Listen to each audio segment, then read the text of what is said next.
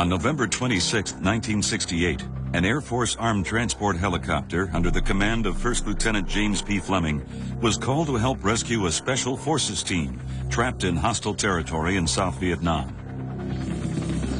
The six-man patrol was pinned against a river with heavily armed enemy all around. There was no place for a helicopter to land. Fleming headed for the riverbank. He hovered dangerously just above the shoreline but the Americans couldn't make it to the pickup point.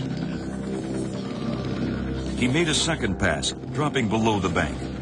The Americans turned their backs on the enemy and dashed for the helicopter, jumping aboard just as Fleming took off downriver in a barrage of fire. For conspicuous gallantry and intrepidity in action, Air Force First Lieutenant James P. Fleming, the Medal of Honor.